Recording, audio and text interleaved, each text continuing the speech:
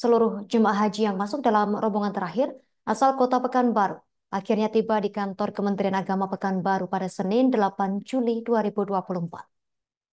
Mereka merupakan jemaah haji asal kota Pekanbaru yang tergabung dalam kloter 14 Batam. Jumlah jemaah dari kloter tersebut mencapai 81 orang. Untuk informasi lebih lengkapnya, akan dilaporkan rekan Fernando Sikumbang, wartawan Tribun Pekanbaru yang telah terhubung bersama kita. Rekan Fernando, silakan laporan selengkapnya dari Anda, rekan. Oke, uh, terima kasih Justina dan juga Tribuners.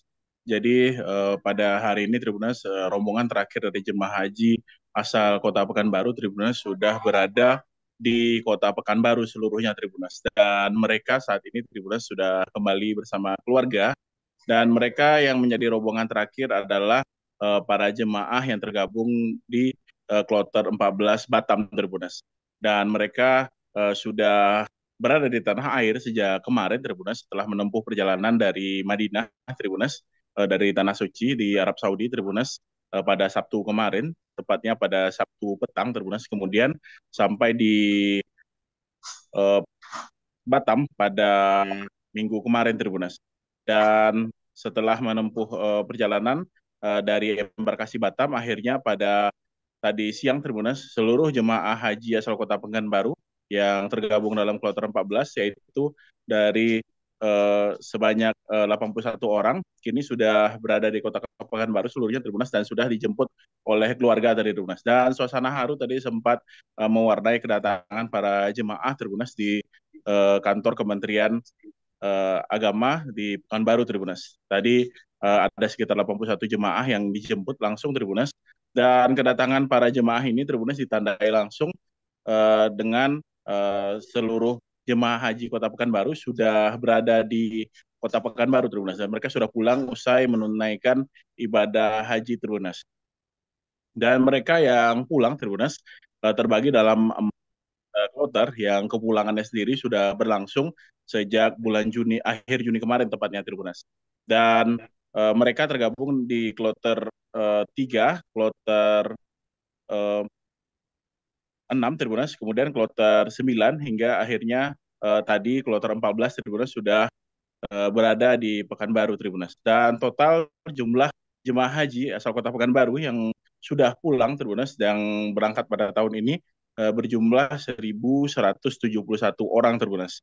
Dan dipastikan seluruh jemaah haji tersebut dalam kondisi sehat Tribunas dan mereka uh, sempat ada yang dirawat kemarin Tribunas uh, jelang berangkat kembali ke uh, Kota Pekanbaru atau ke tanah air Tribunas, namun uh, jemaah tersebut yang sempat dalam kondisi sakit ternyata sudah pulih dan akhirnya bisa uh, menyusul uh, dan ikut pulang bersama di uh, kloter 14 ini Tribunas sehingga pada hari ini uh, mereka bisa berkumpul dengan keluarga Tribunas.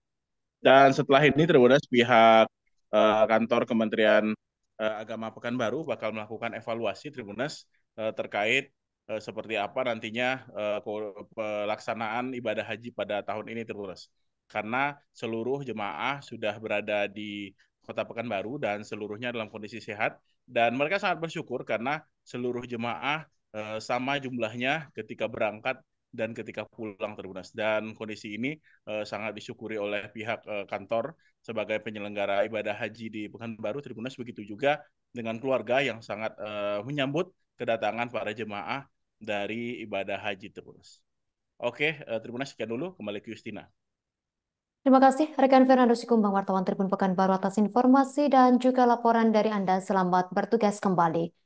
Pemirsa berikut wawancara wartawan kami bersama Haryati Kasih Penyelenggaran Haji dan Umroh Kantor Kemenak Pekanbaru. Jamaah hari ini eh, kepulangan untuk kloter 14 ya yang terakhir jumlahnya 81 jamaah. Semua kembali dalam keadaan sehat walafiat. Satu orang kemarin sempat dirawat tapi alhamdulillah bisa kembali pulang ke tanah air. Dan dengan kepulangan kloter 14 ini maka seluruh jamaah asal kota Pekanbaru Riau sudah kembali ke tanah air secara lengkap ya berangkat 1171 jamaah kembali lagi ke tanah air 1171 jamaah uh, berarti selama di sana seluruh jemaah uh, menjalankan ibadah haji dengan lancar aja bu? Uh, Atau ada kendala bu? kendala mungkin ada dalam beberapa hal, misalnya lansia kita yang tidak bisa melaksanakan sepenuhnya, tapi uh, berdasarkan ketentuan-ketentuan uh, yang dibolehkan, misalnya seperti melempar. Download Tribun X sekarang, menghadirkan lokal menjadi Indonesia.